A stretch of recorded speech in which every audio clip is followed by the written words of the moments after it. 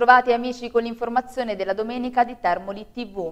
La vendita all'asta delle concessioni demaniali slitta di 5 anni, così come deciso dal Senato, ma i balneatori molisani non sono soddisfatti. Abbiamo dichiarato lo stato di agitazione permanente, ma sentiamo.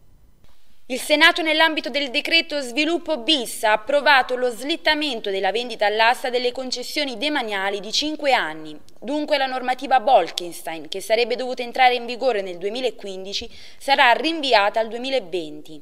Nonostante la notizia, le associazioni dei balneatori molisani continuano a far sentire la propria voce, anche perché la Commissione Bilancio del Senato ha approvato all'unanimità l'emendamento al decreto sviluppo, bocciando invece la maxi proroga di 30 anni.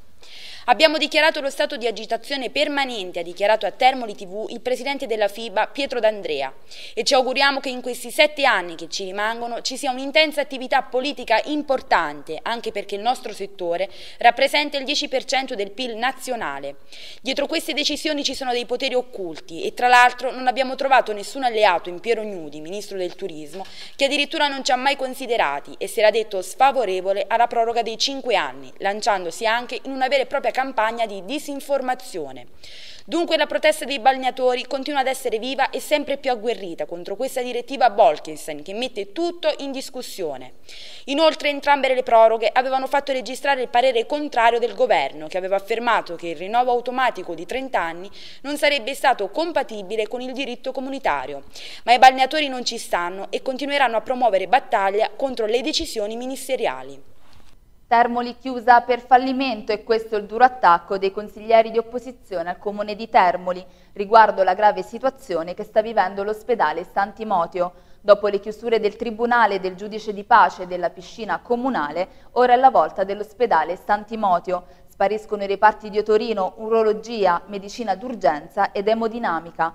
Tutti sapevano da tempo che i tagli fossero necessari per la sopravvivenza, hanno fatto sapere. Né sindaco né amministrazione hanno ancora preso posizioni. Continua il maltempo sulla nostra regione che sta portando nevicate anche a basse quote. Il cielo si presenta nuvoloso e coperto in tutto il territorio, con venti forti e mare agitato. Il sindacato Famiglie Italiane Diverse Abilità arriva anche a Termoli e al convegno che si è tenuto in Galleria Civica tanti sono stati presenti che hanno partecipato all'incontro. Vediamo. Il primo congresso provinciale del Sindacato Famiglie Italiane e Diverse Abilità ha avuto luogo l'altra sera presso la Galleria Civica di Piazza Sant'Antonio, prima dell'elezione del direttivo per la provincia di Campobasso con la neonata segreteria che avrà sede a Termoli, si è svolto un dibattito centrato sulle problematiche che affrontano i disabili e le loro famiglie per l'assistenza, ma ancor più per rendere il più possibile normale la loro vita e per permetter loro di studiare e lavorare. Il convegno è stato presieduto dal segretario nazionale Dino Mauro Di Tullio con i referenti Giuseppe De Luca e Gianni Pacucci ed il presidente del Consiglio Comunale di Termoli Alberto Montano a fare gli onori di casa. A seguire c'è stato il lungo ed intenso discorso del segretario nazionale Di Tullio, socio fondatore e segretario nazionale del primo sindacato sociale, unico a tutelare a 360 gradi quel mondo della disabilità che è molto più vasto di quanto si creda, nato alla fine del 2003 ed ufficializzato poi il 9 marzo del 2004. Il segretario nazionale ha denunciato l'arretratezza culturale, filosofica ed infrastrutturale del nostro paese, bacchettando pubbliche amministrazioni e scuole.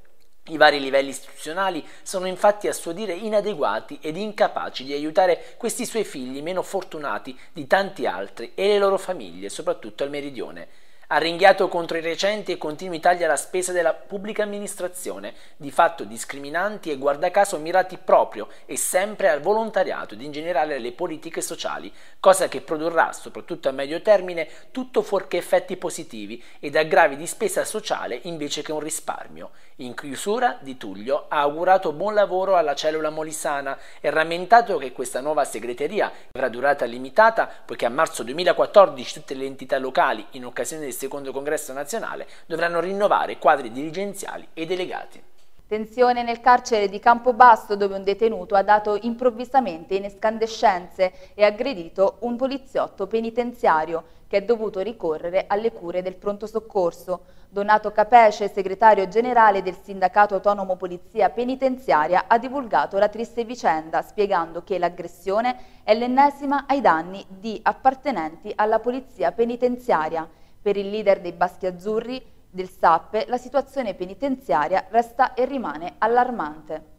Il Parlamento ha approvato in via definitiva il provvedimento che nelle regioni vengano tagliate le auto blu, le consulenze, i convegni ed i costi istituzionali, i vitalizi, l'indennità ai consiglieri e il blocco del rimborso elettorale ai partiti in caso di scioglimento anticipato del Consiglio regionale.